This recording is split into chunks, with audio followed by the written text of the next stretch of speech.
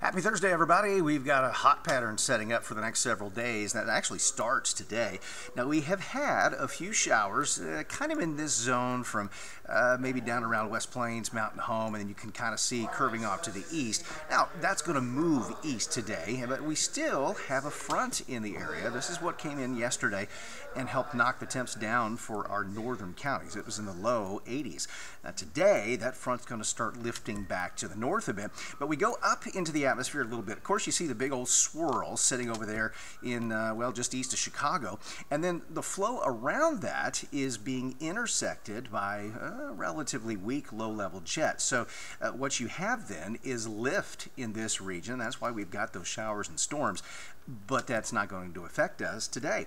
Temperatures run from uh, just under 60 degrees in spots to uh, a few spots in the mid 60s. But today's temps are going to warm some compared to yesterday, at least for a lot of us in Missouri. And that's especially true for our northern counties where you had low 80s yesterday. Now, Rolla had 84 yesterday, so we're going to bump your number. You have been outdoing the forecast for a couple of days here, uh, or exceeding the expectation anyway. So we're talking mostly upper 80s 80s today.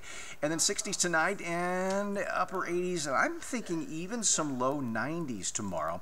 You notice uh, there's a 90 in Stockton and Warsaw. I really think that that area could be a little warmer than that simply because there is still uh, some severe drought in that region. So here's the jet stream. Of course, you see the low near Chicago. As that moves away, we're watching a big trough develop out in the Rockies, a huge dip in the jet stream, and that's going to have some rain and snow even for the mountainous regions. Excuse me. High pressure then on the east side of that, and that'll cover up the Ozarks through the weekend and early next week.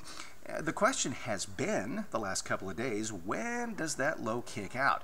Usually, when you have the blocking high, this low is very slow to move east, and we still have some adjustments possible.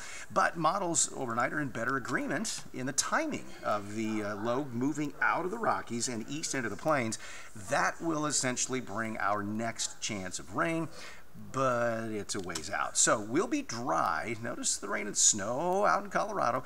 And that's Tuesday. Wednesday, we should see some rain in our region, and that may linger into Thursday, but it does not necessarily look particularly heavy at this point. It does, however, look a little cooler.